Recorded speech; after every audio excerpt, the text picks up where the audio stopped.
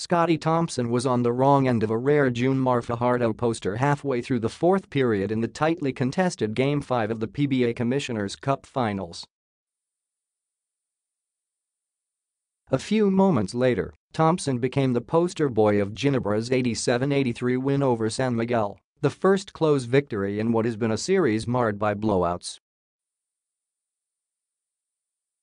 Thompson scored six straight in Ginebra's late 9-0 run to lead the crowd favorites towards the hill just a four days removed from a humiliating 38-point blowout. Thompson recovered from a hard fall after a collision with Fajardo, draining two foul shots to trim the San Miguel lead to 1, 83-82 with 107 to go in the game. Thompson was at it again 30 seconds later as he drained the go-ahead jumper before sealing the game off with a breakaway layup to give Ginebra an 86-83 lead with 23 ticks to go. The proud son of Digos City played down the heroics, saying that he was just simply in the right place at the right time and that it's their team defense which should be credited. Sabrang Lucky Langkasi Younga Young defense Naman, Talagang grind, out, so Young ga shoot ko bandang huli, I think, lucky shot na lang yun, said Thompson. We really need this game, Gusto naming a panel 2 so thankfully, Yon, he added. In a series where lack of local scoring has been one of Ginebra's main issues, Thompson became Justin Brownlee's unlikely reliever Thompson finished with a team-high 20 points to go along 11 rebounds and 3 assists on an efficient 7-12 shooting from the field and 3-5 from threes. Prior to this game, Thompson was just averaging 10.4 points, 7.4 rebounds and 3.8 assists.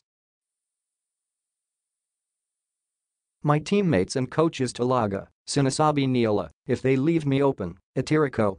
Yunlang Jinagawako. Not open Ako, Tinatira Lang, said Thompson. Again, his head coach and Tim Cone was the last person to be surprised with how Thompson performed. Scottie had a great everything game. Unbelievable. Rebounds early in the game, playing Cabagnot all game long then picking up big, huge defensive rebounds down the stretch because Balkman and June Mar were killing us on the boards, the league's most successful coach said.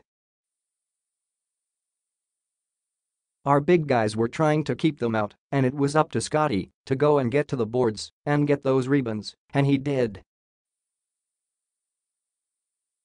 Amazingly, added Cone who once again compared his ward to Russell Westbrook's style of play.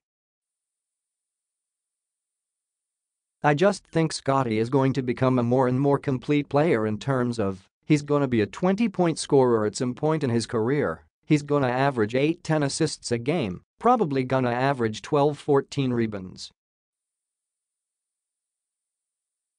While those are certainly big expectations, Thompson's focus is on the now as he looks to continue his stellar play heading into the closeout Game 6.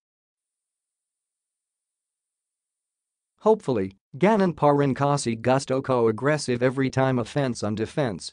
Hustling, offensive rebounds, defending, Yan Young Pinaka best way not too long ko sa team.